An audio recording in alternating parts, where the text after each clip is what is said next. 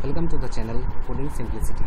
Today we will discuss how we can add an parameter and a header when we are consuming an API using REST Sharp from a C Sharp console application. So let's start. As you have seen in my earlier video, I have already seen how we can use REST Sharp from a C Sharp console application using this demo API. Now I will create an employee using this same dummy API example. So for now we will take the create one which is a post method and we need to pass some parameter to create the employee details. Let's move to details part. So here is the parameter which we can pass to the API. So let's start with the coding part. First, I will create an class method to create the API.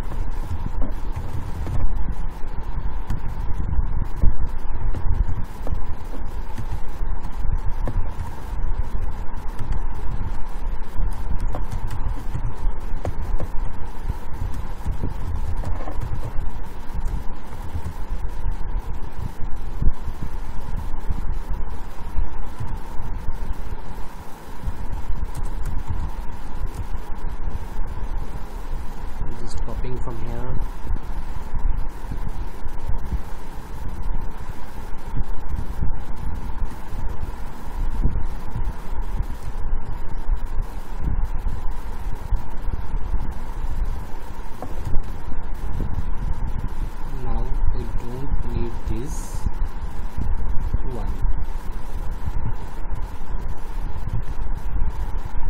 in this case we have also the same base API now we will have to just change the request one. For the request one we have to send the create one.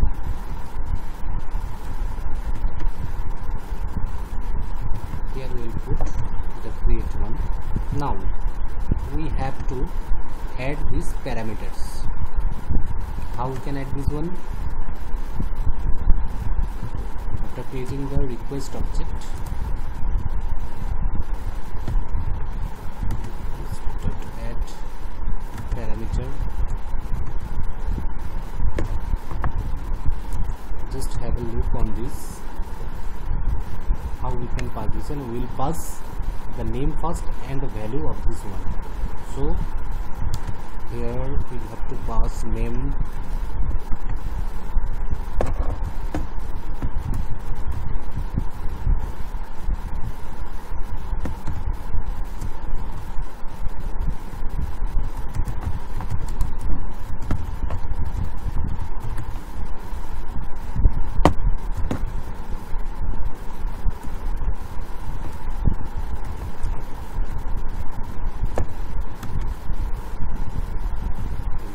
salary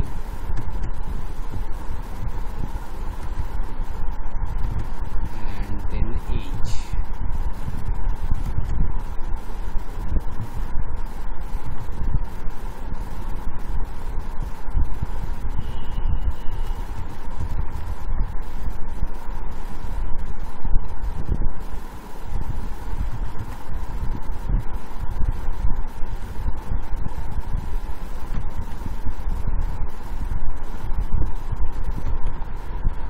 then we will add the header part over here now one more thing as this is a post method so we have to mention here when we are creating a request. So here we will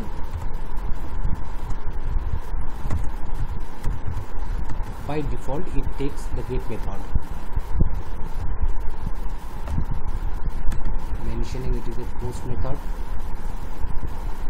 Saving this one here. In this way you can add the parameter and using header you can add in this like way. Now we have to call this to check either the API is working or not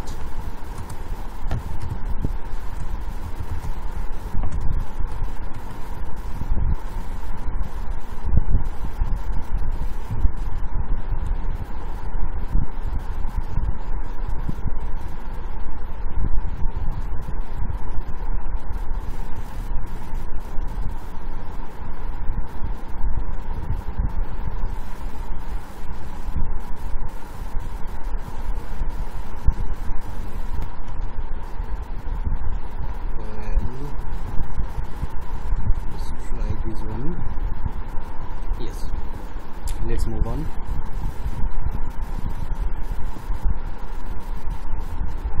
Request method we are adding the parameters. Then we are adding headers. After header. What is the status code? It's okay. Now if we look at the response object this is our response object. If we see the content it is success. So in this way we can add parameter and headers. So that's all for now. If you like this video then obviously share it and don't forget to subscribe me for another video. Thank you guys. Thank you for watching